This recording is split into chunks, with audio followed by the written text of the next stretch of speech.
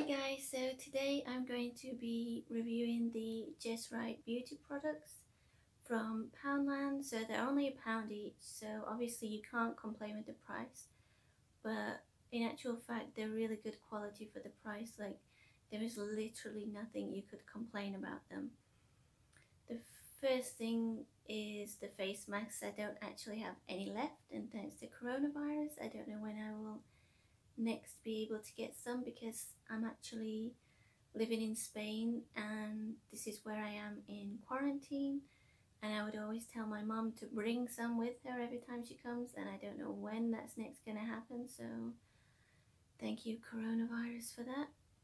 So anyway I've run out so I don't have any to show you but it really does help your face feel refreshed. What I like about it is that it's the sheet that you put on, those are my favorite types because the ones that you have to rub in yourself and put on, they are quite messy and I just prefer ones that you put on, throw it away and it's done. So yeah, I recommend those and my skin does feel refreshed and soft after. Uh, the next thing I have are the nails which the only ones I have tried is the pink ones. I wore them last year. I did the Bentley summer tour in Portugal where we got to test drive the cars which was super fun and I wanted some nails just that I could put on and easily wear while I was there. In fact I could probably do a video about that next. Okay maybe if anyone would like to see a video of that, let me know. But I'm going to put it anyway, so it doesn't really matter. Anyway, yeah, so these are the ones I wore. Cutie Pie, the pink one. And I was there for four days. The event was a three-day event, and I had an extra day just to kind of look around, relax, see the area, do do my own thing. Um, yeah, I took the glue with me because I was expecting it not to be good because I've bought nails before that are really cheap and the glue's been really rubbish that literally you touch one like that and it's it's off. And within a day you've lost three or four already and it's just a waste of time. So I took the glue with me so that I would be prepared for them falling off but in actual fact they lasted the whole trip. And in fact past the trip I had them on for perhaps say I'm going to say 10 days or so. The glue was so good. They stayed on so well. Even if, I mean, I didn't press it hard, but I could kind of like push against it slightly and it wouldn't come off. It, it was almost like they were my own nails. So they are worth, for a pound, they are worth getting just for the glue itself. I'm really impressed with those. So I definitely recommend them. Next we have the eyelashes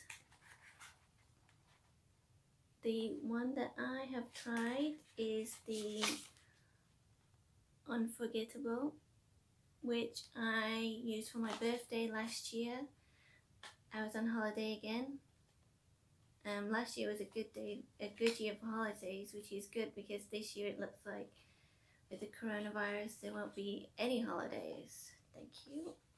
Yeah, so again, I was surprised at how well they stayed on because usually with cheap lashes um, you put them on within an hour you can kind of notice half of it's peeled off and you look ridiculous or before the day's gone it's completely fallen off. But this I had no problem. I actually kept asking people throughout my birthday are my lashes still on? Do I look okay? Are they okay? And yep they stayed on the whole time so again, for one pound, it's worth getting again just for the glue. Like I'm well impressed. The next thing I have is perfume, which again um, I got my mom to bring for me uh, the last time she visited, and I said just smell it first because for a pound perhaps it smells like yuck, oh, but no, it smells amazing my mum smelled it and decided she liked it so she was to buy some. Her friend bought some. So yeah it really smells the first thing I actually thought of when I got it was of the with the design it made me think of the Paris Hilton perfume which is one of my favorites as well. So I was really happy with this and the good thing is the size of it it's great for going on holiday because girls you know we like to get everything in there all our products everything so if we can get a smaller size of everything that's even better. So yeah it's perfect for holidays or even if you want to carry it in your bag so that if you're at work say and halfway through the day you want to freshen up it's not going to be too heavy or take up too much room in your bag.